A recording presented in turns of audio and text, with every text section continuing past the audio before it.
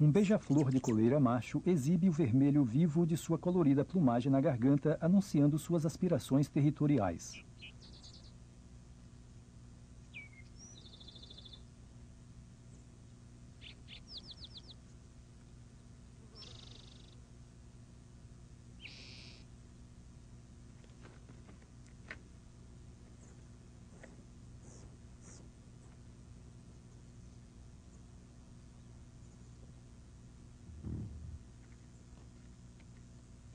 Os fichas são um dos predadores arborícolas mais rápidos da América do Norte.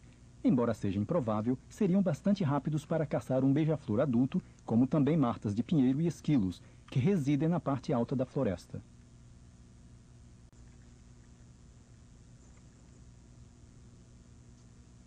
A partir do seu mirante elevado, o Fischer pode inspecionar o seu reino verde. Ele pode descer da copa da árvore mais alta, girando suas patas de trás 180 graus, o que lhe permite agarrar-se à casca com suas garras traseiras.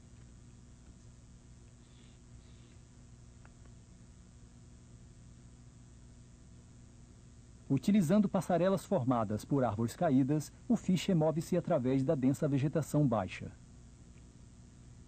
Nestes arbustos carregados de frutos, a coleta é fácil.